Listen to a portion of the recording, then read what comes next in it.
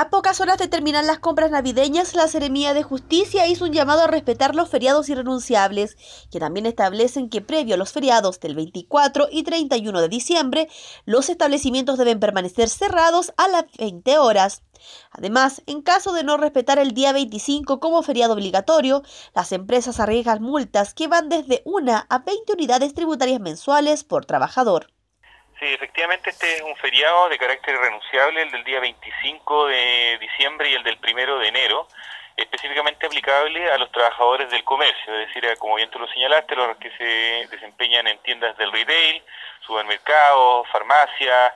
eh, etcétera. Este feriado eh, tiene un efecto en que el empleador será obligado a cerrar las puertas el día anterior, es decir, el 24 en su caso y el día 31 a las 20 horas,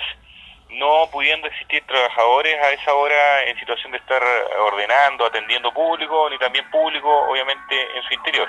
Además, la máxima autoridad de la cartera del trabajo en la región de Antofagasta explicó que el feriado del 2 de enero, que fue aprobado esta semana, al no ser irrenunciable, los servicios y locales comerciales con empleados podrán funcionar con normalidad, dependiendo solo del acuerdo entre cada empleador y su empleado. Ahora, eh, hace poco la presidenta bueno, presentó un proyecto de ley, el que fue ya aprobado en el Senado, pronto ya estará publicado, que fija el día 2 de enero como un día de feriado. Este día de feriado no tiene la característica de ser renunciable, es decir, los trabajadores del comercio van a tener que prestar servicio,